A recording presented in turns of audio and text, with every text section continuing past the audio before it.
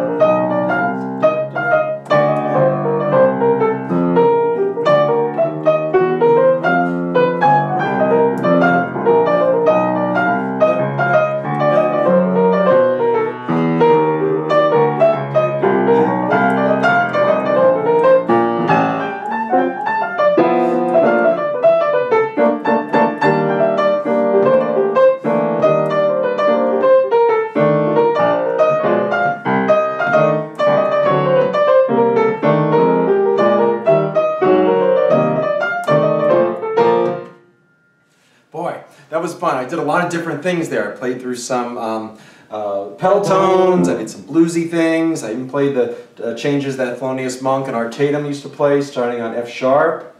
And then you get back into the tune. Rhythm changes are great, but they take a long time till you get the, to the point where it starts to flow naturally. So practice them really slowly. Um, you can learn a lot. I remember when I was um, studying with Billy Taylor, the great jazz pianist, he said you can learn the rhythmic language, uh, actually melodic language rather, of bebop by learning these kind of melodies. They teach you how to get through the chords in a bebop way. They're not just melodies that, that you would then solo over. They actually have the language of the solos built into the melodies. So play a lot of these, Moose the Mooch, Anthropology, um, other tunes in the real book that are uh, similar, even Confirmation. It's not rhythm changes, but it will teach you the bebop vocabulary. Good luck with your own playing. If you have any questions, check me out at keyboardimprov.com. I've got whole uh, curriculums in jazz piano playing, a whole series of courses from uh, beginning, intermediate, all the way through advanced. So uh, have fun. Hopefully this inspires you, and then I'll see you in the next video. Let's see. Apple Honey, an older uh, tune, Woody Herman actually older style, it's more swing, but it's probably from the uh, 40s as well, 50s. And uh, it's another rhythm changes tune, so we'll investigate that in number 18. Okay, take care.